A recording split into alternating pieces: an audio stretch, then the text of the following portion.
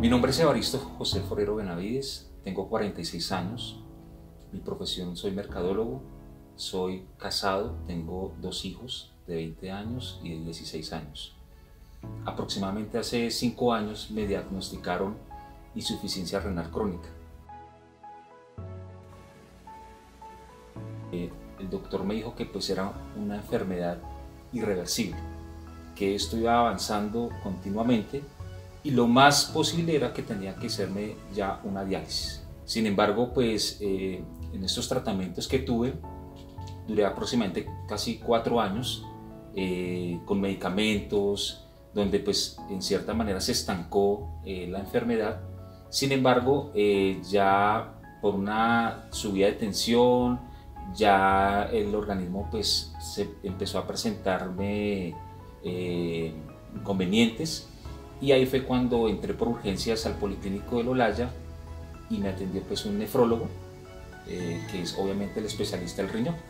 Pensé que, me iban, que iba a empezar por la hemodiálisis, pero eh, gracias a Dios pues eh, el nefrólogo me dio estas dos opciones. Una pues era diálisis peritoneal y la segunda opción era hemodiálisis.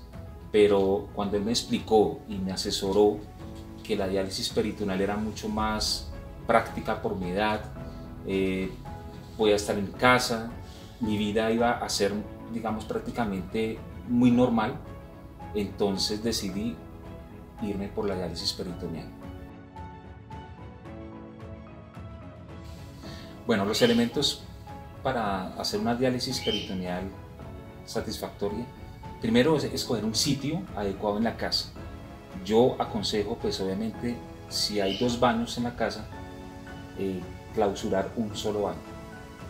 porque el baño yo lo noto? Porque el baño es un sitio donde no, no entra aire, ¿cierto? Es un sitio cerrado y el aseo es mucho más práctico.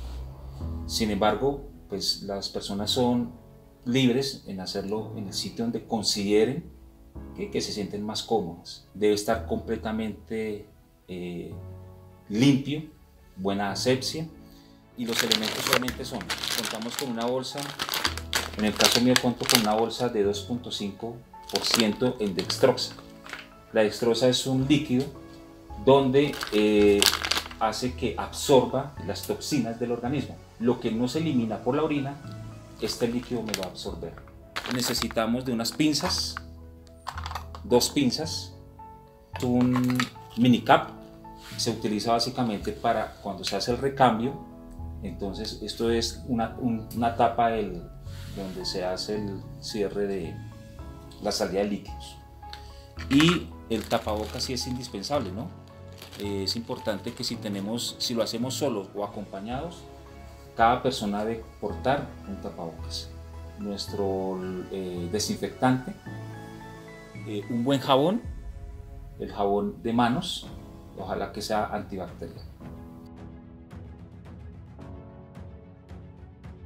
Desde un inicio eh, puse mis, una energía positiva, eh, tuve fe obviamente en Dios y en mí, ante todo, y eso fue lo que hasta la fecha he tenido buena adherencia con el tratamiento y lo recomendaría sin ningún problema para cualquier paciente. Yo recomiendo obviamente, pues me iría más por la peritoneal, por muchas razones. Está uno en la casa, comparte más con su familia, puede seguir haciendo sus actividades que venía desempeñando sin ningún problema, obviamente con las recomendaciones que el, el nefrólogo les, les, dé.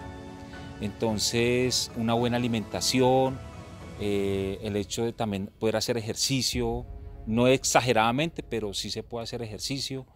Yo pensaría que prácticamente son más las cosas positivas que de pronto negativas.